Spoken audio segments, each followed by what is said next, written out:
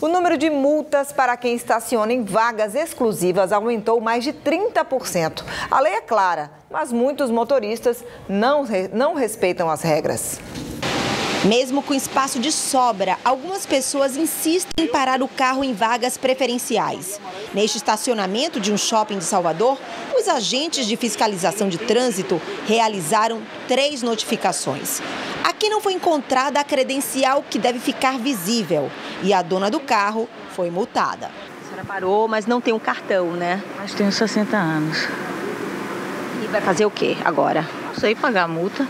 Ao constatar que o carro está parado em vaga para idosos, sem o credenciamento válido em todo o território nacional, os agentes, na mesma hora, emitem um auto de infração que é fixado no para-brisa.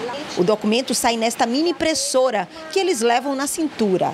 Os agentes da Trans Salvador também tiram foto do fundo e da frente do carro para comprovar que o veículo estava sem o cartão. Vai ser emitido uma uma comunicação para ele via que vai chegar via, na casa dele via correio e ele vai ter o direito da sua defesa. Certo? Ele vai explicar o porquê que ele usou a vaga sem, sem ter a credencial que dá direito a ele. A fiscalização continua e este carro para numa vaga de portadores de necessidades especiais. O certo seria estacionar nesta outra vaga de idosos. Desta vez, o motorista foi orientado sem multa ele foi orientado para que colocasse o carro na vaga correta. Pegar no estacionamento de idoso, não tinha ninguém para tirar o cônigo. Aí eu peguei e coloquei o carro na vaga de cadeirante. Já o aposentado Agostinho nunca teve problemas e sempre sai com a credencial de estacionamento. Pegou a sua vaga, coloca ali em cima e não tem problema. Se não colocar, é multado.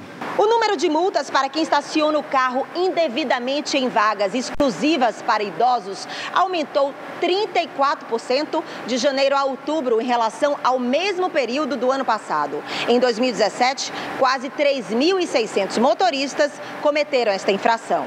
Caso algum carro pare nas vagas de gestante e família sem apresentar a credencial, não são emitidas multas, apenas este tipo de panfleto chamado de multa moral, com orientações. Conscientes, muitos motoristas respeitam as regras e sabem da importância das vagas preferenciais. Se existe uma vaga especial é porque é para ser usada por pessoas que têm a necessidade de usar aquela vaga né? É, são pessoas que não têm mobilidade, que podem, que precisam estar mais perto da entrada e tudo mais.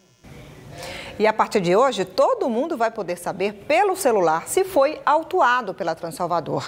A novidade já está disponível na nova versão do aplicativo Noa Cidadão, que já é usado por mais de 15 mil pessoas aqui na capital. A nova versão também faz consulta de segunda via de notificações, além de mostrar alertas aos motoristas quando houver ocorrências de grande impacto no trânsito da cidade.